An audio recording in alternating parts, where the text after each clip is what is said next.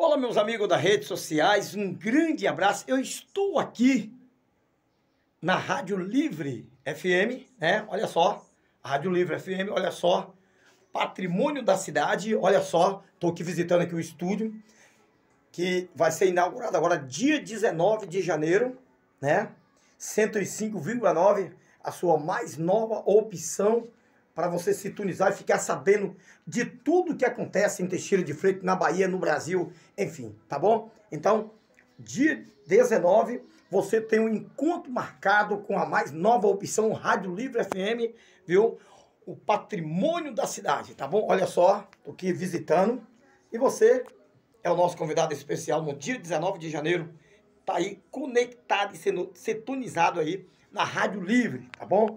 Um grande abraço em nome do repórter Ailton Pinturas, a nova rádio em Teixeira de Freitas, viu? Ó,